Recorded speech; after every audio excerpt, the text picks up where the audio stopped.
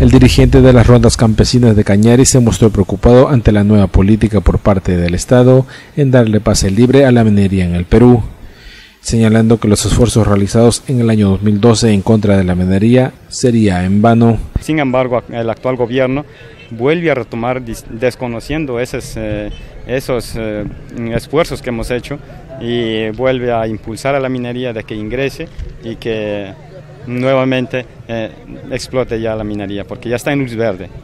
la minera está trabajando? No, no, no, no está trabajando, no está, sí, no está activo. Justamente la comunidad está en alerta en eso eh, y justamente seguiremos organizadamente tanto la comunidad y tanto el, el presidente de la comunidad, que es la mayor fuerza, en esa zona. Ellos manifestaron que actualmente se encuentran en alerta ante cualquier intento de la minera en realizar algún tipo de trabajo en el sector alto andino porque consideran que la minera solo traería contaminación. Eh, estamos en alerta en Comunidad San Juan de Cañaris porque allá es el, problema más grande es la extracción minera, la empresa extranjera. ¿no?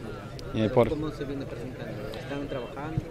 Eh, mira, esta lucha ya se había dado antes, en el 2012, 2013, justamente nosotros en el reclamo de nuestros derechos como comunidades campesinas, indígenas,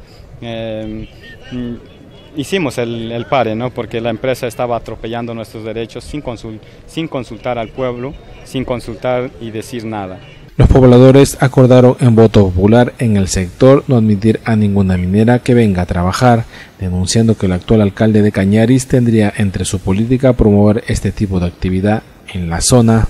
Queremos que nos respete y que siga respetándose hasta ahora porque ya se ha hecho esa consulta, sin embargo el Estado eh, desconoce nuevamente y ha dado una luz verde juntamente con el de Cajamarca, con el Michiquillay, eh, a, a Cañariaco. Pero todavía no ha ingresado porque nosotros estamos en alerta.